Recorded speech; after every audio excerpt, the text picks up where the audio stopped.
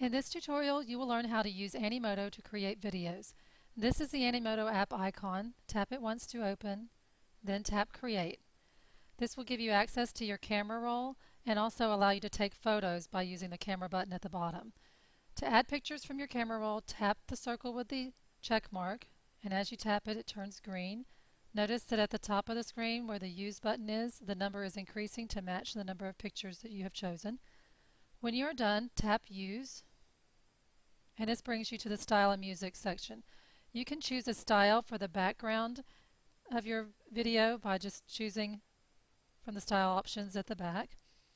You can also choose music.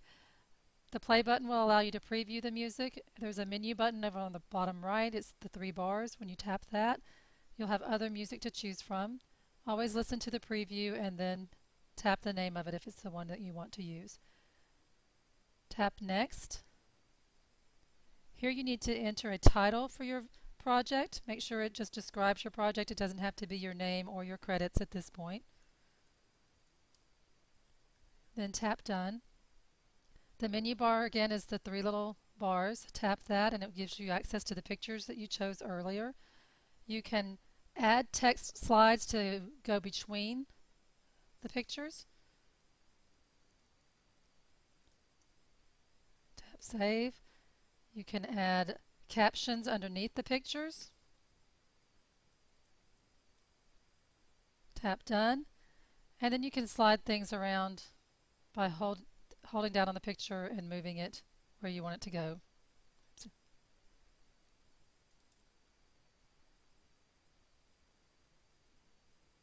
When you're done, tap Preview.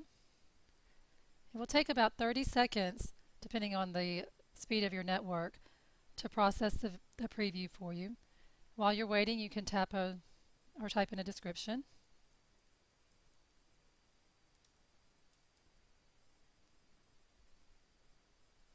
And again, you can play the video to see what it looks like. If you're happy with it, tap Save. If you need to change some things, tap Resume Edit, and you'll be back where you can make some additional changes.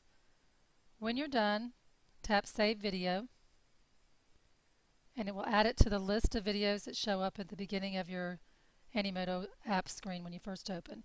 And that's all you need to do to create a simple Animoto video.